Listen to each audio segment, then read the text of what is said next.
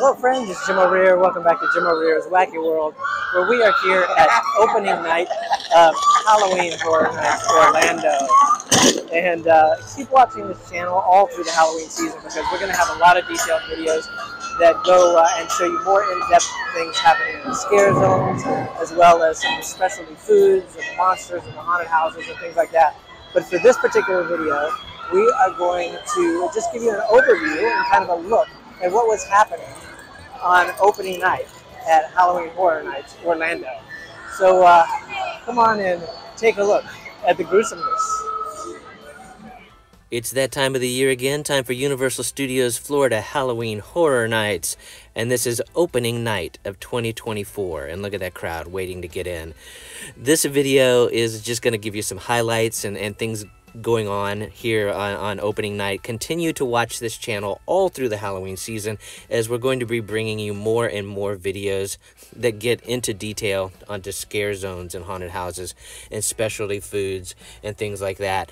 But uh, ton of stuff going on as usual here at Universal Studios for Halloween Horror Nights. And of course, as usual, scare zones. This year there are five different scare zones. Here's a, a Blumhouse scare zone, which has some of your favorite Blumhouse characters in it that uh, will come and get you, like that. and uh, it's a variety this year of scare zones. Um, there's no particular intertwining theme that I can tell this year.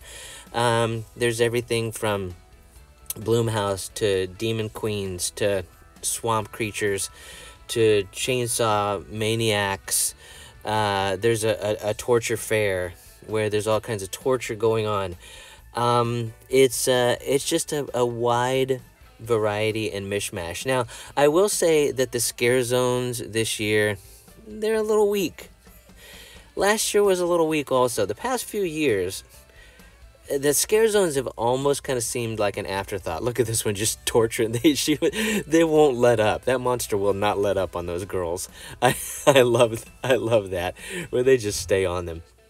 But uh, like I was saying, the scare zones this year, eh, so so. Um, past few years, scare zones have seemed like an afterthought and just kind of thrown out there and not very detailed or anything like that. Uh, it's just sort of a I don't know. It's just like here it is, sort of feeling. Um, and this year is no different. Just you know, different characters on uh, various props and stages that um, you know, eh, are not that that detailed or, or interesting. Now, for all of you people online who were complaining and complaining that Mel's isn't going to be open Look, Mel's is open. Look, right there. They're open. Along with a variety of specialty food kiosks, like this Ghostbusters themed kiosk. And uh, they've got a ton of these here this year, just like in, in past years and they're all themed to match their, their haunted house lineup. This has a Slimer's Korean corn dog that we had to try, and there's another video that will be coming out on this channel very, very soon where we give you a review of that and you can sort of get some more information uh, on that, uh, as well as uh, several specialty drinks that they're offering this year.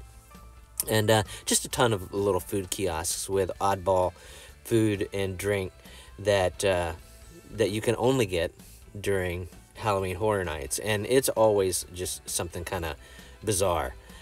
Um, the tribute store, again, as usual, is open this year, which uh, this year is themed kind of like a, I don't know, a, a, a broken down New York subway.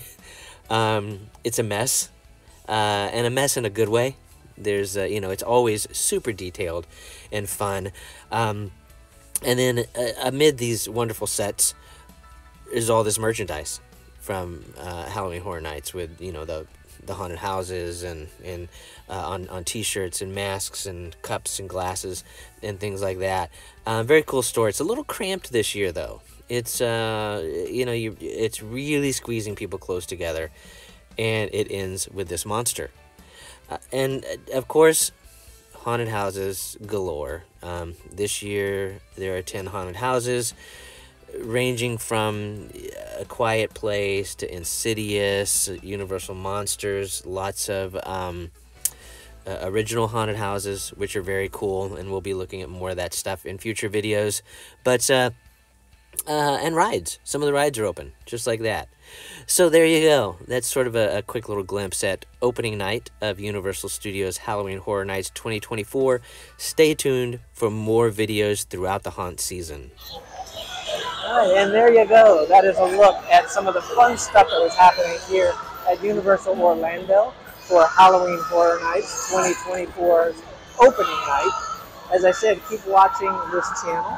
And uh, all through the Halloween season, we're going to be showing more details about what's going on out here, details and uh, uh, a lot of footage from some of the scare zones and specialty foods and the haunted houses and things like that. So, if you have liked this video, click that like button to let the powers that be know that you like the video. And while you're at it, click on follow or subscribe, and you'll be notified when I upload new videos. So thanks again for watching, and we'll see you next time.